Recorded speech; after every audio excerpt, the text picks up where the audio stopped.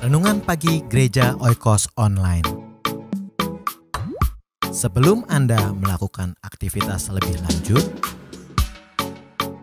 ikutilah Renungan Pagi hari Senin, Rabu, dan Jumat jam 4.30 pagi di Youtube channel Gereja Oikos Online.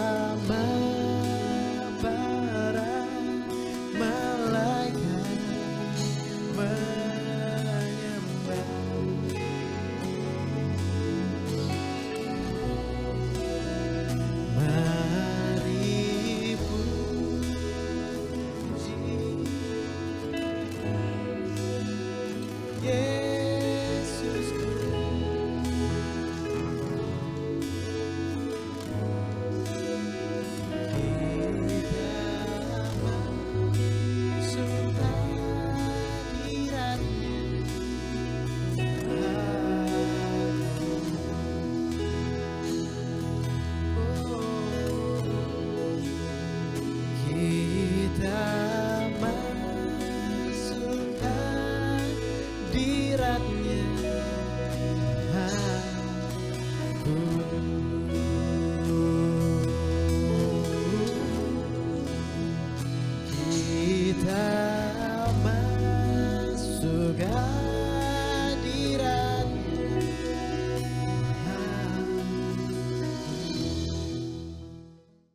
Shalom, Bapak Ibu Saudara sekalian, selamat pagi, selamat kita bertemu kembali dan selamat mendengarkan firman Tuhan. Firman Tuhan akan diambil di dalam kitab Kejadian pasal 28 menceritakan pada waktu Yakub lari dari rumahnya menghindari kejaran atau menghindari dari dendam daripada kakaknya Esau.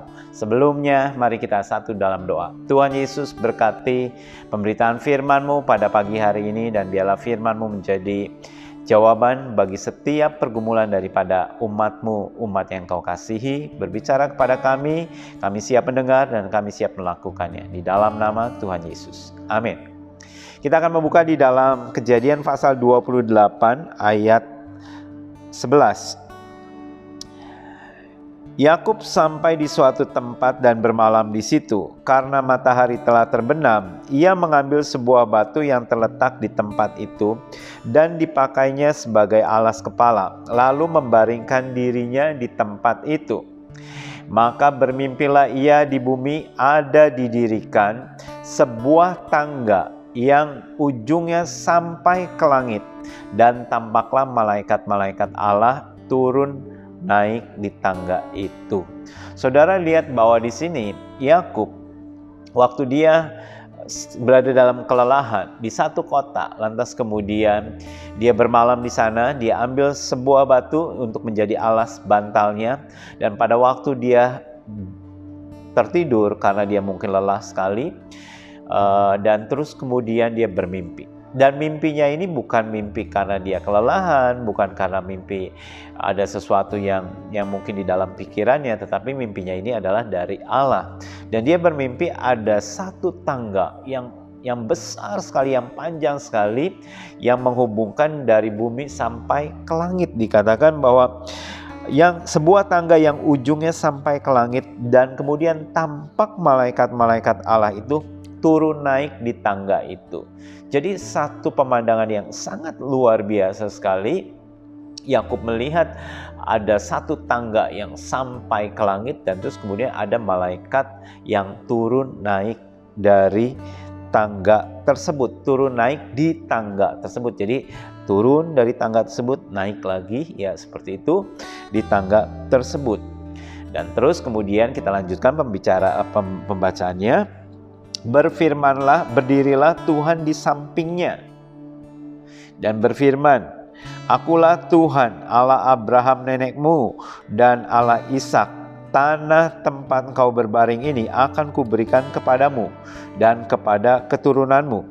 Keturunanmu akan menjadi seperti debu tanah banyaknya dan engkau akan mengembang ke sebelah timur, barat, utara, dan selatan, dan olehmu serta keturunanmu, semua kaum di muka bumi akan mendapat berkat. Sesungguhnya aku menyertai engkau dan aku akan melindungi engkau ke mana pun engkau pergi. Dan aku akan membawa engkau kembali ke negeri ini sebab aku tidak akan meninggalkan engkau.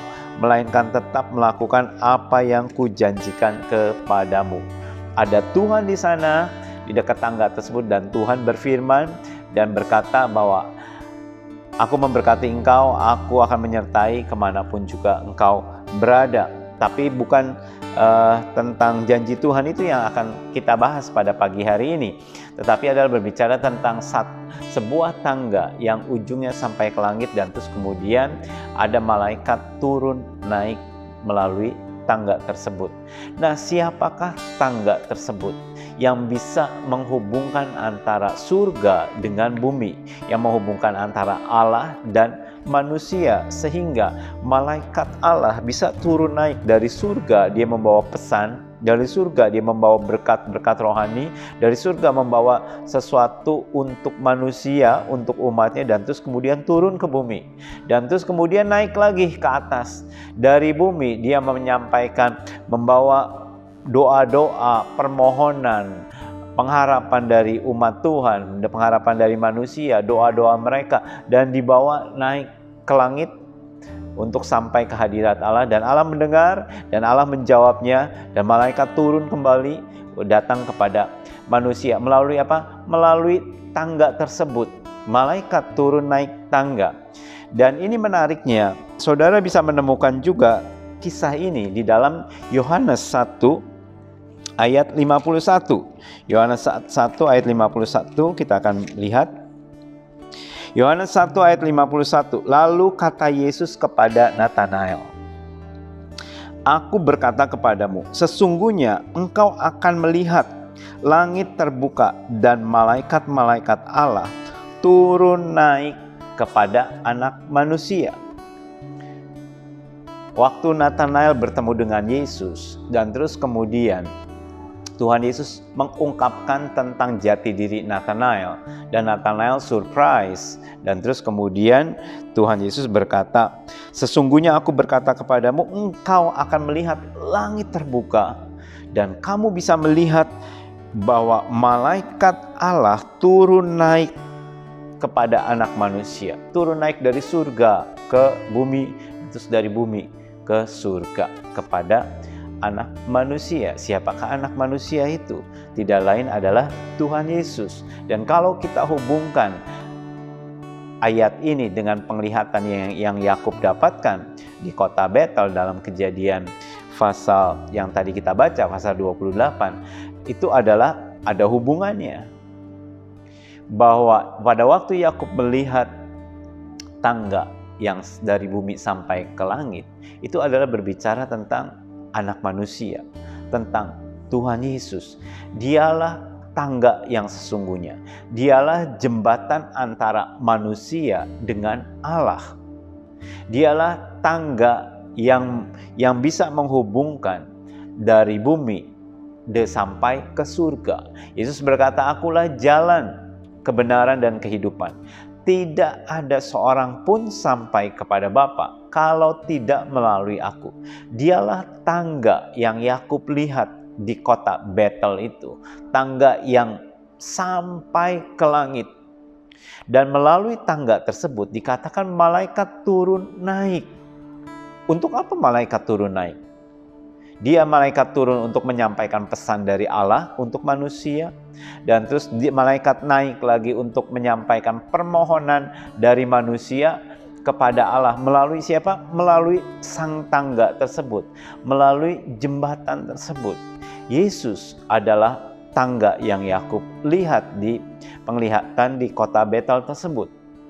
Dan Tuhan Yesus menginspirasikan Nathanael bahwa kamu akan melihat langit akan terbuka dan kamu akan melihat ada malaikat turun naik kepada siapa? Kepada Tuhan Yesus. Itu adalah penglihatan yang Yakub lihat beberapa ribu tahun yang lalu dan diwujudkan atau digenapi pada waktu kehadiran Tuhan Yesus. Dia turun dari surga sampai ke bumi. Dialah tangga yang diturunkan oleh Allah supaya manusia bisa sampai kepada Allah. Manusia bisa menerima berkat-berkat dari Allah. Manusia bisa menerima berkat rohani, berkat jasmani dari Allah dan manusia menyampaikan permohonannya, menyampaikan petisi, menyampaikan doa, menyampaikan doa syafaat dan Allah memberkatinya dari surga melalui apa? Melalui tangga tersebut, melalui Yesus Kristus. Itu sebabnya kenapa setiap doa-doa kita itu selalu diakhiri dengan kata di dalam nama Yesus in Jesus name. Artinya doa-doa kita itu semua kita minta di dalam nama Yesus. Semua doa-doa saudara harus diakhiri dengan kata semua doa-doa kami kami alaskan atau kami akhiri di dalam nama Tuhan Yesus. Dengan kata lain, Yesus adalah tangga yang menghubungkan antara bumi ke langit, bumi sampai ke langit. Dialah tangga tersebut. Dan tanpa melalui tangga tersebut, saudara nggak akan bisa menerima sesuatu dari Allah. Hanya melalui Yesus Kristus. Apa saat ini pergumulan Bapak Ibu Saudara-saudara sekalian? Saudara harus menyampaikannya melalui tangga tersebut. Saudara harus menghadap hadirat Allah melalui tangga tersebut dan tangga tersebut sudah diberikan oleh Allah. Sudah diberi sudah diturunkan melalui Yesus Kristus. Dialah tangga itu. Dialah jalan menuju keselamatan untuk memperoleh hidup yang kekal sehingga saudara dan saya bisa menerima hidup yang kekal dan naik ke surga sana.